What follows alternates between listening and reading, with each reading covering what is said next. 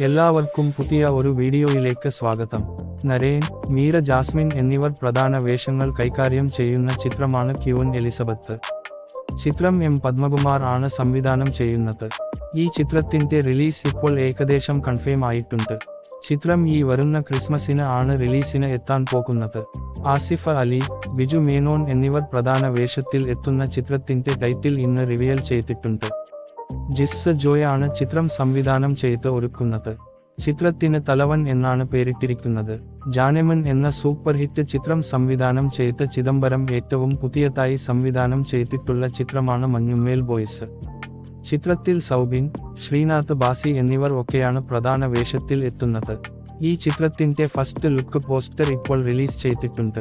മമ്മുക്ക ജ്യോതിക എന്നിവർ പ്രധാന കഥാപാത്രങ്ങൾ അവതരിപ്പിച്ച ചിത്രമാണ് കാതൽ. മമ്മൂട്ടി കമ്പനി നിർമ്മിച്ച ചിത്രം ജിയോ ബേബി ആണ് സംവിധാനം ചെയ്തിരിക്കുന്നത്. വളരെ മികച്ച അഭിപ്രായം പ്രേക്ഷകരിൽ നിന്നും ലഭിച്ച ചിത്രത്തിന്റെ പതിനഞ്ച് ദിവസത്തെ കളക്ഷൻ റിപ്പോർട്ട് ഇപ്പോൾ പുറത്തു വന്നിട്ടുണ്ട്. ചിത്രം പതിനഞ്ച് ദിവസം കൊണ്ട് പത്ത് കോടി രൂപക്ക് അടുത്ത കളക്ഷൻ സ്വന്തമാക്കിയിട്ടുണ്ട്. രാജകുമാർ ഹിറാനി സംവിധാനം ചെയ്ത് ഷാരൂഖ് ഖാൻ പ്രധാന വേഷം കൈകാര്യം ചെയ്യുന്ന ചിത്രമാണ് ഡങ്കി ഈ ചിത്രത്തിന്റെ കേരള തമിഴ്നാട് റൈറ്റ്സ് ഇപ്പോൾ വിറ്റുപോയിട്ടുണ്ട്. ശ്രീ ഗോകുലം മൂവീസ് ആണ് ചിത്രത്തിന്റെ റിലീസ് റൈറ്റ്സ് സ്വന്തമാക്കിയിട്ടുള്ളത്. അർജുൻ റെഡ്ഡി കബീർ സിംഗ് എന്നീ ഹിറ്റ് ചിത്രങ്ങൾ സംവിധാനം ചെയ്ത സന്ദീപ് റെഡ്ഡി സംവിധാനം ചെയ്യുന്ന ചിത്രമാണ് അനിമൽ രൺബീർ കപൂർ രാഷ്മിക മന്ദാന എന്നിവർ ആണ് ചിത്രത്തിൽ പ്രധാന വേഷങ്ങൾ കൈകാര്യം ചെയ്യുന്നത്. ഈ ചിത്രം ആദ്യ വീക്കെൻഡ് കളക്ഷൻ ആയിട്ട് വേൾഡ് വൈഡ് ബോക്സ് ഓഫീസിൽ നിന്നും അഞ്ഞൂറ്റി അറുപത്തി മൂന്ന് കോടി രൂപ സ്വന്തമാക്കിയിട്ടുണ്ട്. ഹൃദയം എന്ന ബ്ലോക്ക് ബസ്റ്റർ ചിത്രത്തിന് ശേഷം വിനീത് ശ്രീനിവാസൻ ഏറ്റവും പുതിയതായി സംവിധാനം ചെയ്ത് കൊണ്ടിരിക്കുന്ന ചിത്രമാണ് വർഷങ്ങൾക്ക് ശേഷം.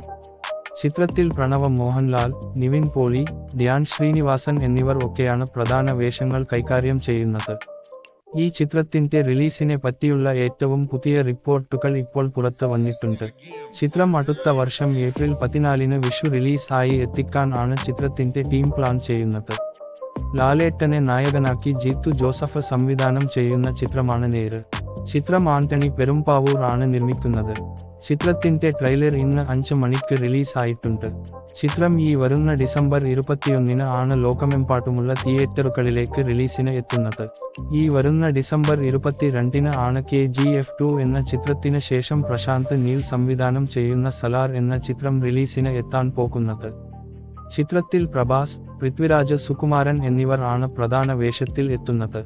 ഈ ചിത്രത്തിന്റെ സെൻസറിങ് ഇപ്പോൾ പൂർത്തിയായിട്ടുണ്ട്. ചിത്രത്തിന് എ സർട്ടിഫിക്കറ്റ് ആണ് ലഭിച്ചിട്ടുള്ളത്. രണ്ട് മണിക്കൂറും അമ്പത്തിയഞ്ച് മിനിറ്റുമാണ് ചിത്രത്തിന്റെ ടോട്ടൽ റൺ ടൈം ആയി വരുന്നത്.